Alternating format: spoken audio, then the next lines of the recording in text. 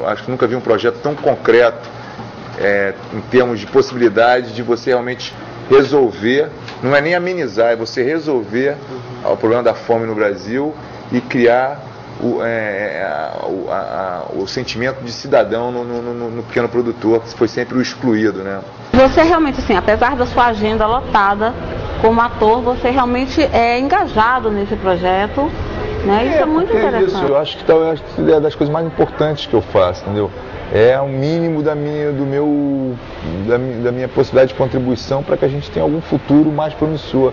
Né? Porque está muito difícil, né? Hoje quando você vê, essa é a TV da Assembleia, né, aqui, mas né, infelizmente a gente está tendo aí ver o que está acontecendo no Senado brasileiro, é muito triste, assim, é muito é, desalentadora, a política brasileira está muito confusa. Então, se cada um de nós puder fazer no seu nicho de mercado, no seu, né? Então esse, esse projeto eu acredito que é a coisa que eu mais, que mais possa ter um resultado realmente de transformação. Então eu, eu, eu poderia hoje estar com a minha família, estar lá com a minha filha, né? estar com a minha mulher. E realmente estou aqui porque é uma coisa que me dá prazer e me estimula muito, né? Minha família entende isso. Não é então transcende qualquer, qualquer coisa além, quer dizer, né, do mesmo jeito que eu, eu me esforço para fazer uma peça, para fazer um filme e tal, esse projeto de agricultura orgânica também me exige um trabalho grande, mas que me dá muito prazer por conta do resultado que a gente tem, que é muito grande. Bom, quando você era adolescente, você teve uma é, experiência numa aldeia chavante Isso. e esse projeto te levou de volta à verdade, aldeia? Eu, tive uma, eu tive uma experiência na aldeia chavante, depois trabalhei no Museu do Índio do Rio. Tá tive a experiência na aldeia dos índios Arara, também no Pará, que foi talvez das experiências mais interessantes, que eram índios que tinham acabado de ser descobertos. O, o sertanista da época era o Cine Possuelo, era o cara que estava na frente de atração Arara. Então, acho que foi a experiência mais marcante da minha vida, realmente foi essa de ficar 30 dias no meio de índios que não tinham contato quase nenhum com branco. E a possibilidade, através da agricultura orgânica, eu tive um retorno ao, aos índios, porque os chavantes foram me procurar para querer desenvolver na aldeia também a agricultura orgânica. Há de 25 anos, 20, 20 anos 25 depois. anos, isso foi em 89, 90, 89 mais ou menos. Não, 79, foi em 79. Eles, eles quando eles me viram com um trabalho que eu faço de agricultura lá na Vale das Palmeiras, na Fazenda Vale das Palmeiras, eles vieram me procurar, e pô, a gente não pode produzir isso também na aldeia, a gente, não, a gente tem que buscar formas de de, de, de, sobrevivência, né? Porque os índios eram nômades e hoje eles são obrigados a viver numa, terra restrita, né? apertada, uma terra que não era deles, que não tem a fertilidade que já teve, uma terra que, foi uma, que já foi fazenda, então muito degradada. Então eles são obrigados hoje a tentar produzir ali de alguma forma e a agricultura é uma solução. E a gente está implementando na aldeia São Pedro e Onça Preta, no, lá na região de Parabubuari, no Mato Grosso, perto de Campinápolis. A gente está com o projeto Paz também instalado lá. Estamos num processo de desenvolvimento, é mais complexo. Os índios chavantes são índios complexos, por uma questão cultural mesmo, a linguagia. Né? São índios que têm, têm divisões, são clãs. Então, a, conseguir a união desses índios é uma coisa mais complexa. Mas também é muito prazeroso de poder ver a, vontade que eles têm de, de, de superar, né? de, de, de transcender isso e e, e, o resultado de você, você chegar na aldeia e ver um índio carregando cenoura, é, beterraba, alface, rúcula, tomate, cebola, sabe, fazendo uma cestinha básica produzida ali a 200 metros da casa dele, uma coisa que ele nunca pensou. Ele descobrir que existe semente para tudo. Você percebeu emoção da parte deles quando. Muito, muito, o tempo inteiro, até hoje eles se emocionam, eles são, eles são muito ligados com o que eles estão acontecendo. O índio é capaz de, de, admirar um pôr do sol, de admirar uma lua cheia, como se nunca tivesse visto isso. A gente é que perdeu esse prazer. Você passa por, olha lá, uma lua legal, uma pôr, do sol, pôr lindo esse pôr do sol. A gente quase não contempla, mas a gente não tem mais quase tempo de contemplação. O celular te exige, não tem que. Toca você. Não, peraí, eu tenho que resolver um negócio. Então a gente tem uma urgência na vida que na aldeia você pode entrar um pouco em contato com esse tempo da existência. Isso é muito bacana. E aí rolou um documentário.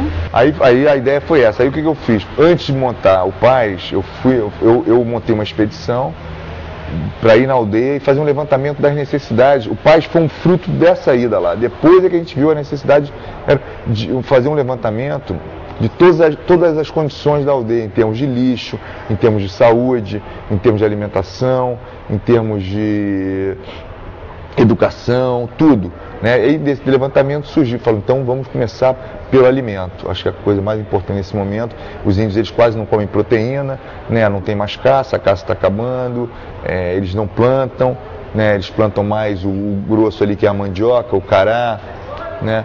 a abóbora, então falta proteína, o índice de mortalidade infantil é enorme, né? você não tem ajuda Aí, aí, entram questões políticas também, a FUNASA, no fundo todo mundo meio tá, fica sempre querendo se dar bem com alguma coisa, entendeu? Ninguém realmente está focado em fazer aquilo para aquilo, que ele foi aquilo, que ele foi é, direcionado.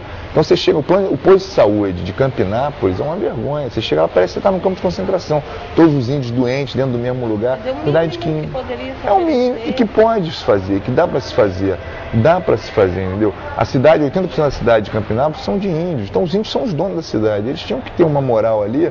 Eles tinham que ter a, a, os vereadores, eles tinham que ter o prefeito, eles tinham que ter todos. Mas é difícil.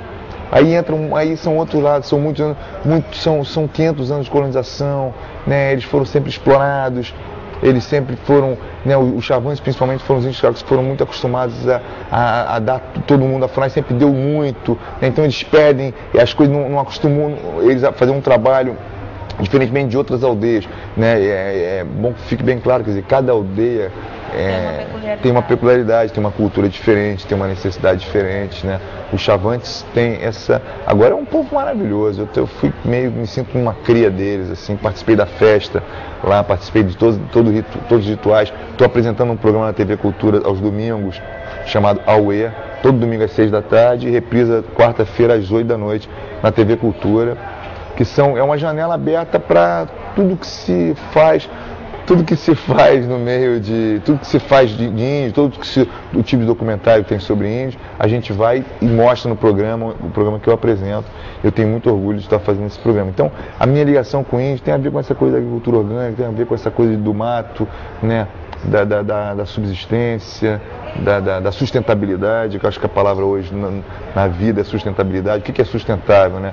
É, uma, é uma, uma ação sua que você possa fazer hoje é uma ação que você pode fazer, que você faça hoje voltada para alguma coisa e que essa ação ela tem algum tipo que ela se perpetue diante daquilo, né? Que eu não dependa, que é o oposto do veneno, do agrotóxico, né? Do. Eu não posso encerrar essa entrevista sem falar um pouquinho da tua carreira, tá? Claro. É, outro dia mesmo eu estava assistindo O Homem que Desafiou o Diabo, que passa assim infinitas vezes no canal fechado, né? Na, no, no canal Brasil.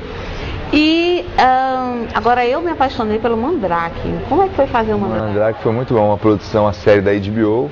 A gente vai voltar, vamos, vamos fazer mais três episódios no final do ano. O Mandrake vai voltar no ar. Foi uma experiência muito interessante, assim, o programa ficou entre os seis mais vistos nos Estados Unidos, foi a primeira vez que um programa latino entrou na grade né, de programação nesse nível, assim, competindo com as, com as séries estrangeiras.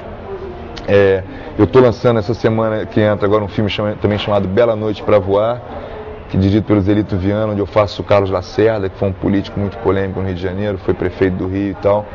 É, uma, é um dia na vida do Juscelino Kubitschek. Estou com esse programa dos índios. Estou com outro programa que, que deve entrar aí também falando de clima, de sustentabilidade. Estou com bastante, estou com esse projeto da Fazenda, estou com a peça de teatro. Aqui, porque é, é, assim, a agenda dessa forma realmente. Não, foi, e eu estou com a peça. Eu queria muito vir a, a Teresina aqui, vir ao Piauí, para poder apresentar o espetáculo, que, é, que é, são os últimos momentos de Lampião e Maria Bonita. Eu Isso eu e Adriana Esteves.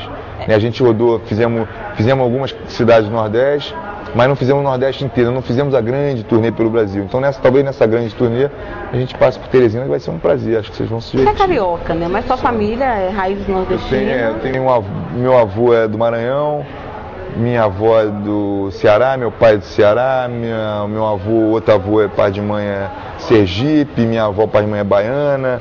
É uma mistura danada, é, é um fumo de ouro, bicho. Então, Marcos, obrigada por estar conosco aqui no Cena Aberta e eu espero de coração que você realmente venha a Teresina com a peça. Vai ser um prazer. Pra gente Obrigado falar aí. mais um pouquinho Não, e também mostrar um pouco da história do Nordeste, né? Porque Lampião e Maria Bonita realmente Tem tudo a ver, né? Tem tudo a ver. E o Homem Desafio o Diabo é engraçado que é um filme que as pessoas falam. A minha sensação é que dos filmes que eu fiz, é o que fez mais sucesso, é o personagem mais popular que eu já fiz. Aí o Joário é muito bom. Não grude não.